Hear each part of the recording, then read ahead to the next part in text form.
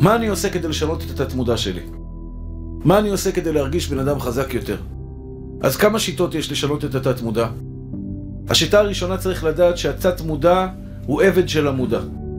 כלומר, כל הוראה שאני אתן לו, בסופו של דבר הוא יקבל אותה. כל מה שנכנס להארד דיסק עבר דרך החלק הקדמי של המוח, שזה המודע. כשאני אמרתי לעצמי פעם אחת אני חלש, זה נמצא אצלי בהארד דיסק מאחורה. כשאני פעם אמרתי איזה באסה החיים, אז זה נמצא בתת... בהארד דיסק מאחורה. כשאני אמרתי, לא הולך לי בכסף, זה נכנס להארד דיסק מאחורה. אני קם בבוקר, אני לא חושב על כלום, אבל אני מרגיש שלא הולך לי בחיים. אני תקוע. למה? כי שבוע שעבר, ולפני שבועיים, ולפני חודש, הכנסת חומר לא טוב לתוך המוח שלך.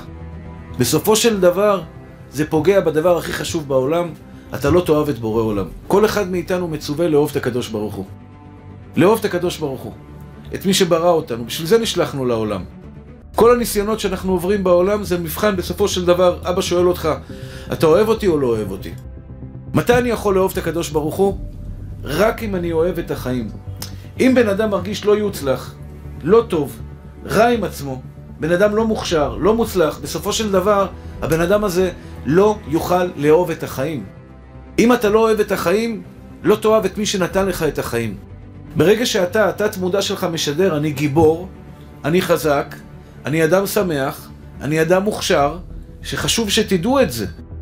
הכישרון, גם אני, יש לי כישרונות מבורא עולם, אבל יש לי בעיה.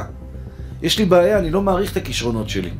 כלומר, הנטייה שלי ביגאל כהן, שנבראתי, זה נטייה לעצבות. זה לא נטייה לשמחה. אני מודה ומתוודה בזה.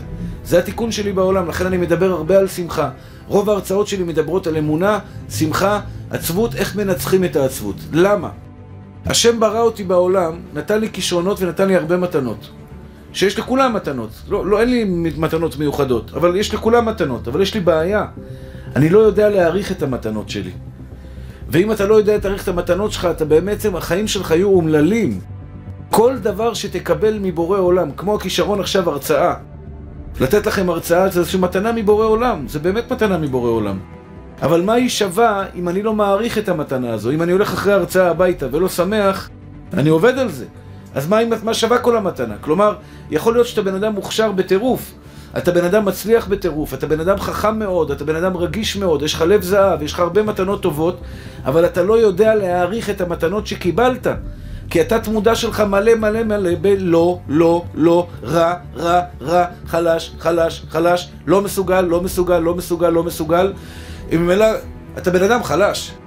אם התת מודע מלא במשפטים כמו אני אדם חלש, אני לא יוצלח, כמה פעמים אמרתם את המשפט לא הולך לי היום, אין לי מזל היום, כשאתה אומר משפט כזה, אתה מעצב לך את האישיות הפנימית שלך ואתה מאמין בתת מודע שלך שאתה בן אדם בלי מזל. עכשיו, מחר אתה תפחד לפתוח עסק. אתה לא, אתה תפחד לפתוח עסק, וזה מה שקורה לרוב האנשים. למה יש אנשים אמיצים, פותחים עסקים, חובקי עולם? יש לו במיאמי, יש לו בניו יורק, יש לו פה, יש לו שם, יש לו בתים פה, בתים שם. יש לו אומץ לקנות עוד ועוד דברים, והשני, בן אדם עובד עם משכורת של 7,000 שקל, הוא מפחד לפתוח עסק. למה? כי בתת מודע שלו הוא מפחד.